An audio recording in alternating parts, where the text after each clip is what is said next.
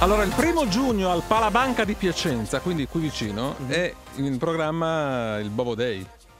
Ah, È il Bobo Day per, per Bovolente, per Vigor, naturalmente. Eh, un certo. ricordo. Vedo che il mondo del volley è molto sensibile, molto attento. ma guarda, ha lasciato un vuoto Bovolenta incredibile. Io ogni volta che parlo con qualcuno della pallavolo, veramente. Ecco, noi ne parliamo naturalmente con chi? Con l'allenatore della nazionale di pallavolo, Eh, tifoso juventino, no? Mauro Berruto. No, avete sbagliato il numero.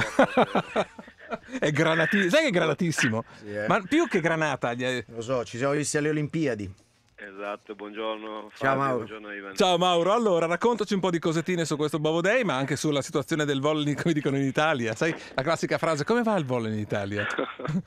Ma io ti parlo della nazionale, siamo partiti da, da un po' in questo inverno di, di lavoro. Esatto.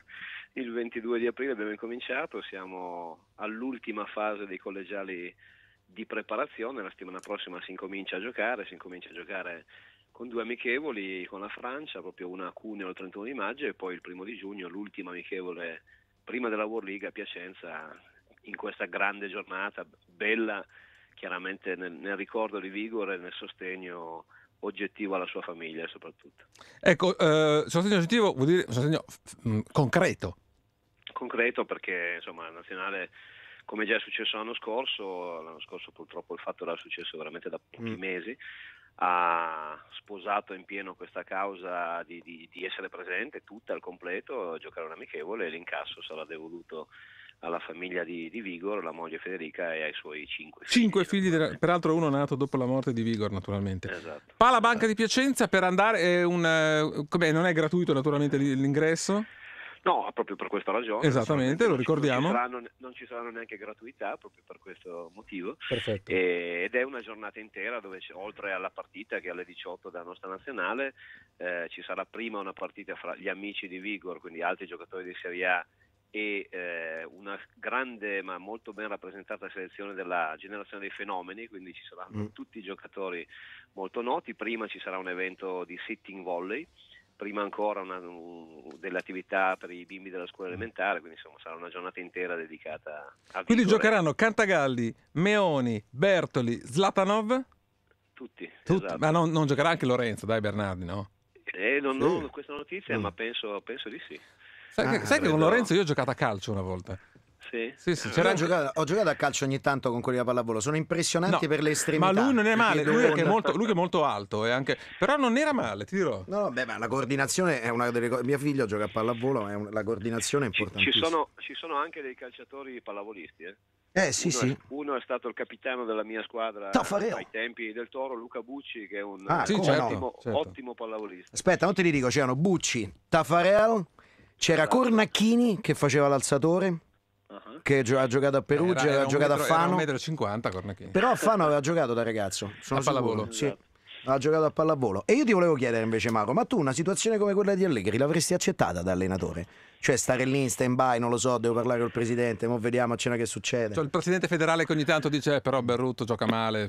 Sì, vabbè. Sì, sto ben rotto, però insomma. Diciamo che credo che sia più accettabile questa situazione in cui la società deve decidere un progetto futuro che non forse tante interferenze durante il progetto Ah, in ecco. corso, mi, riferisco più a quello che è successo durante il campionato che non tanto Mm. a una fase in cui adesso ovviamente dovranno sposarsi l'obiettivo del club e, e l'obiettivo individuale del personale dell'allenatore, però quando poi si parte di solito si dovrebbe stare.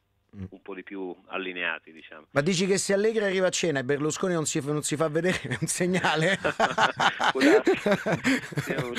E trova solo Galliani e un cartonato, tu dici. Senti invece, per, per finire, Mauro, del- allora, innanzitutto ricordiamo che sono 12 euro è il biglietto d'ingresso per entrare Sì, naturalmente alla- a, a Piacenza per il Bovo Day il primo di giugno. Parliamo del toro, dai, due battute sul toro, come la vedi e soprattutto cosa ti immagini? Ma la stagione del Toro, almeno dal mio punto di vista, è stata un po', un po' strana perché pensavo che avremmo fatto molta fatica all'inizio, poi c'è stata tutta una fase in cui ho pensato che ne avremmo fatta molta di meno di quello che pensavo. E poi è tornata la fase in cui hai pensato. Esatto, quindi direi che però tolto un finale che forse insomma non è stato esaltante, credo che il campionato sia, sia ottimo, sia un campionato che possa anche così mettere delle basi per il futuro, insomma ci sono stati larghi tratti in cui la squadra ha giocato bene, ha giocato intanto in un modo identificabile che era un po' di anni che non, non ci succedeva con- ha riportato due giocatori in nazionale, voglio dire, questo ha, ha un'importanza naturalmente che anche, anche questa era un po' sconosciuta ormai a noi tifosi del Toro, quindi mi auguro che questo sia un punto di partenza, così Certo. come mi auguro che arrivi anche presto il nostro scudetto, Mm. quello che possiamo vincere, che si chiama Philadelphia. Eh sì. Mauro, io noi ti ringraziamo naturalmente e diamo appuntamento a tutti naturalmente il primo di giugno. Primo di giugno a Piacenza vi aspettiamo per presentare questa nazionale che per la prima volta tra l'altro eh, torna in Italia dopo la medaglia olimpica di Londra, quindi sarà anche un bel modo per salutare i protagonisti di quella, di quella bella avventura. Grazie allenatore della nazionale di volley maschile Mauro Berruto. Ciao Mauro. Ciao Mauro. Grazie a voi, buona giornata.